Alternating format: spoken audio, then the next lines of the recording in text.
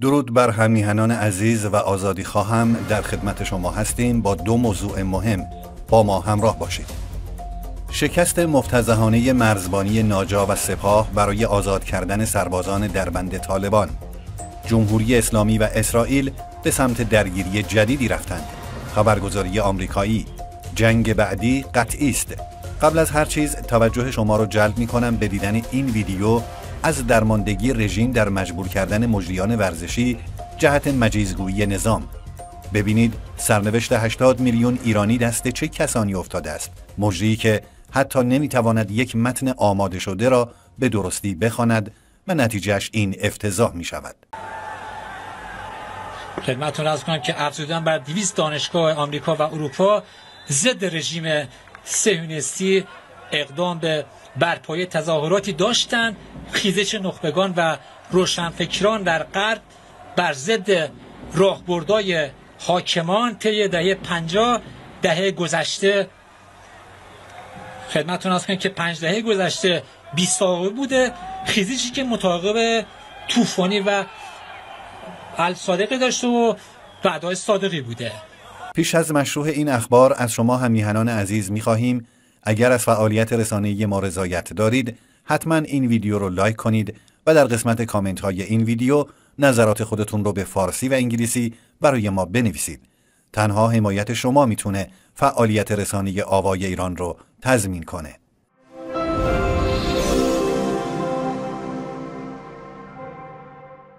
شکست مفتزهانه مرزبانی ناجا و سپاه برای آزاد کردن سربازان در بند طالبان.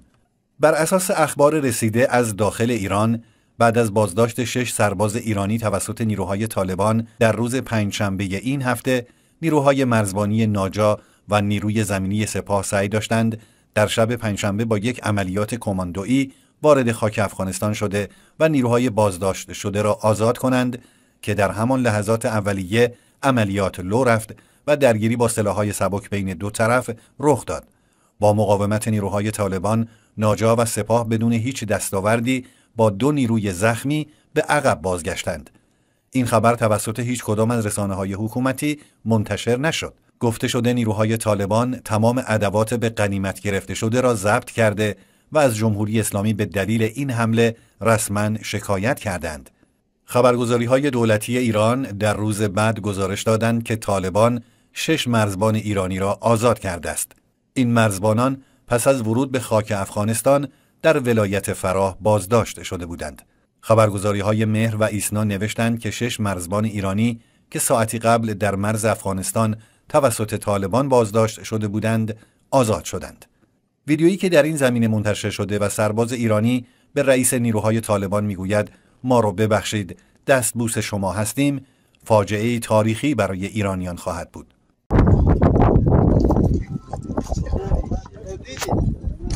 سلام سلام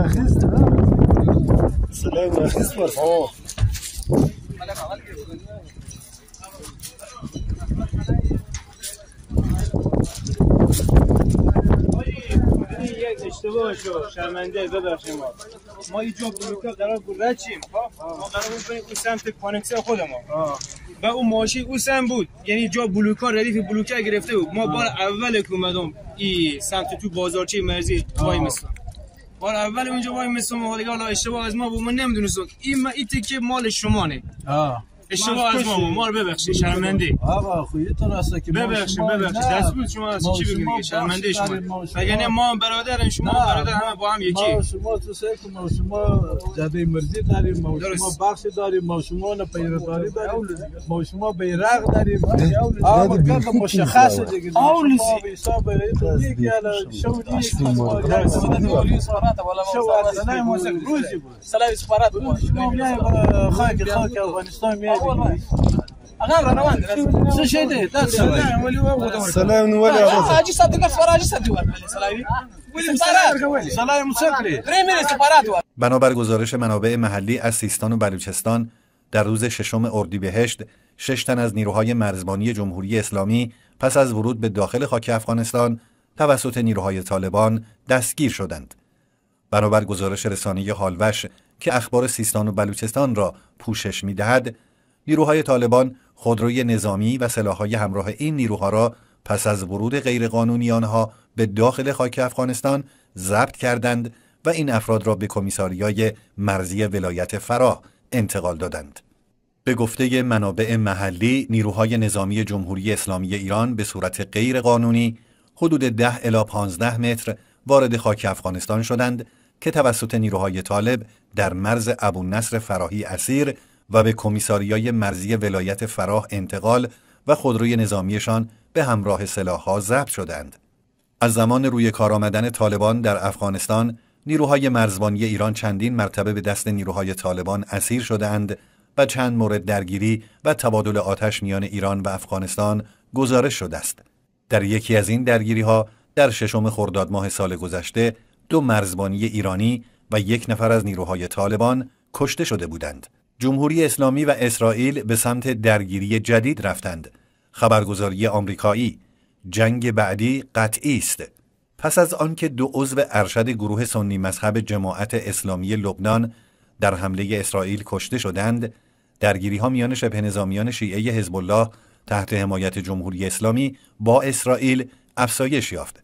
گروه جماعت اسلامی لبنان نزدیک به اخوان المسلمین و حماس اعلام کرد دو تن از اعضای ارشد این گروه روز جمعه در حمله اسرائیل به شرق لبنان کشته شدند.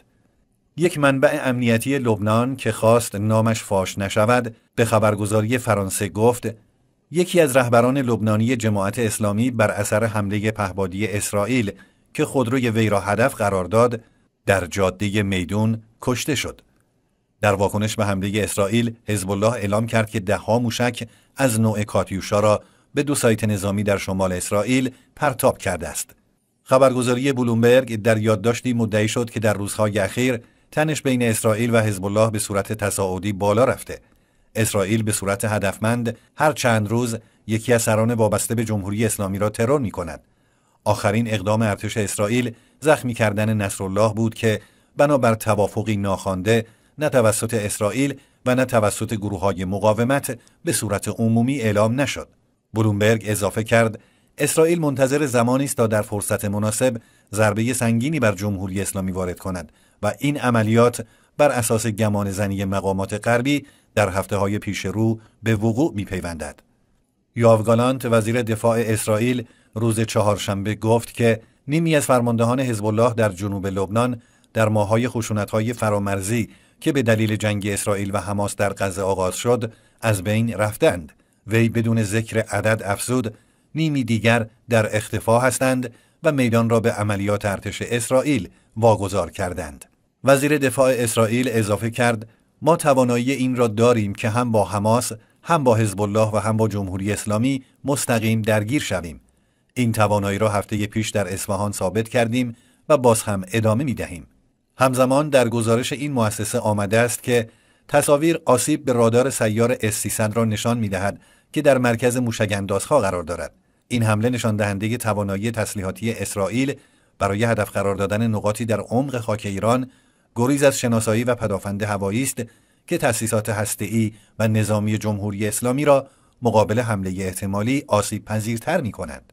مؤسسه علوم و امنیت بین المللی ISIS تصاویر ماهواره‌ای با کیفیتی از پایگاه هوایی هشتم شکاری ایران در نزدیکی اصفهان به دست آورده که اندکی پس از حمله منتصب به اسرائیل به سامانه پدافند موشکی S-300 مستقر در این پایگاه گرفته شده است.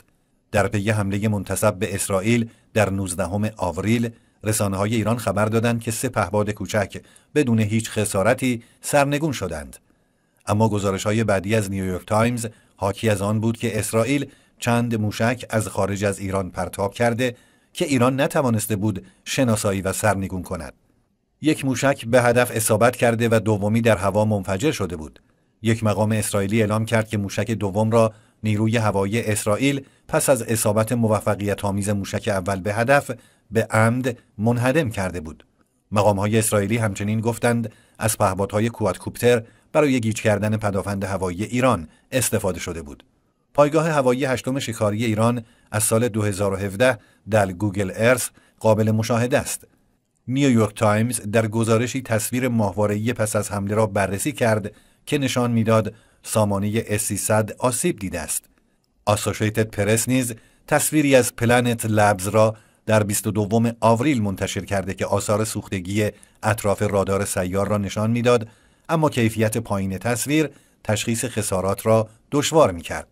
دو تصویر ماهواره‌ای با کیفیتی که مؤسسه علوم و امنیت بین المللی به دست آورده است اندکی پس از حمله در تاریخ 19 و 20 آوریل حدود ساعت 11 صبح به وقت ایران گرفته شده است.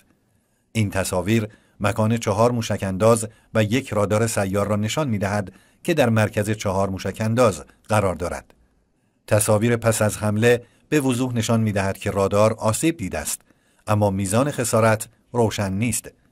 در تصویر 19 آوریل مشخص است انتهای وسیله نقلیه حامل رادار هدف اصابت قرار گرفته و احتمالاً آتش گرفته است.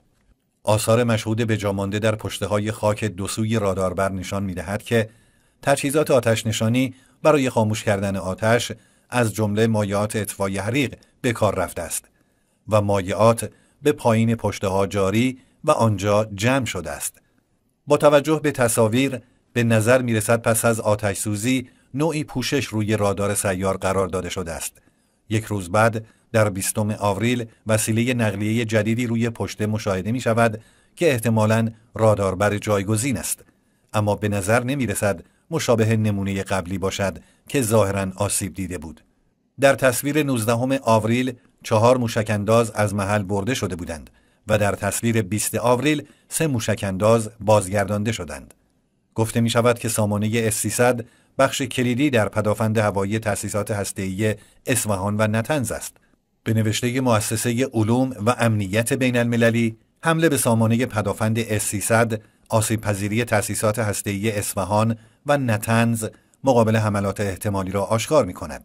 با توجه به اینکه جمهوری اسلامی با وجود پرتاب بیش از 300 موشک و پهباد نتوانست اهدافی را در خاک اسرائیل تخریب کند این حمله به منزله پیامی روشن به جمهوری اسلامی مبنی بر آسیب پذیریش مقابل حملات اسرائیل و ناتوانی نسبیش در حمله متقابل به اسرائیل بود.